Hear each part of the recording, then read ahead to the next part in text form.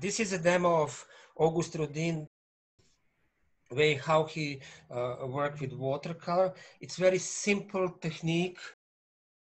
He has model in front of him. Even paper, I think the, uh, the paper was very cheap quality of the paper, uh, which I use here, like from the sketchbook. And he, he started with wash, just one color of the flesh tone I'm showing you here.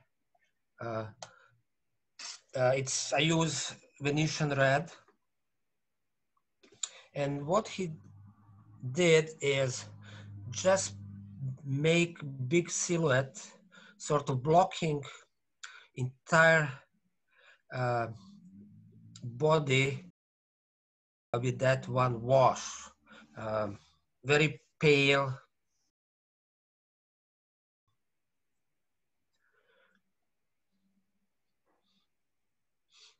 pink, pinkish, reddish.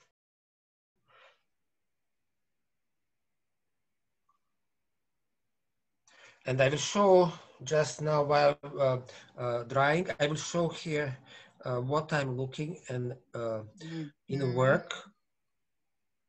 Uh, it's interesting, there are some dots in his work, probably bad paper or not great yeah, fungus. yeah. right? And uh, now I have just a little to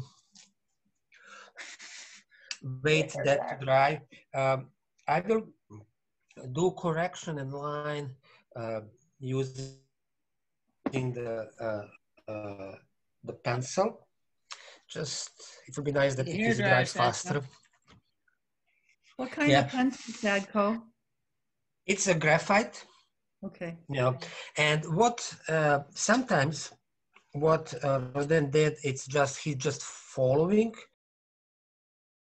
what is the uh, that patch, the big you know uh, pink uh, form, but and sometimes he correcting going inside of the of the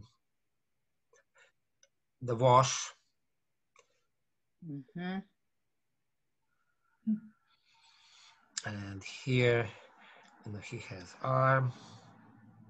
If you notice, there is a, uh, also mistake in proportion with Rodin.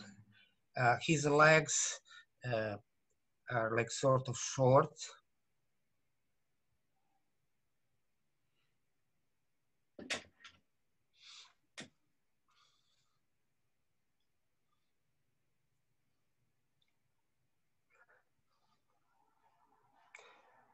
And here the feet. But it's so nice the how the pencil as um, uh, marks sitting on uh, on that wash, simple wash.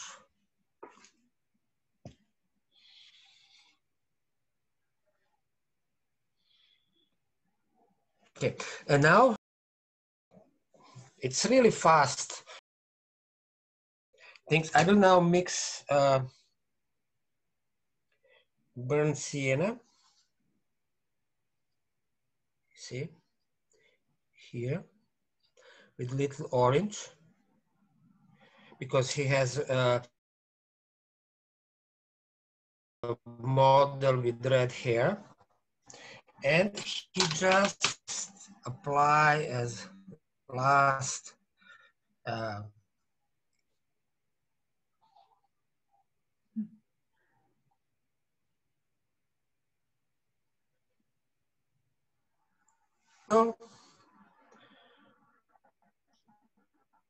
and uh, my attempt to uh, to get that. I will go closer a little bit that you see the lines of the pencil.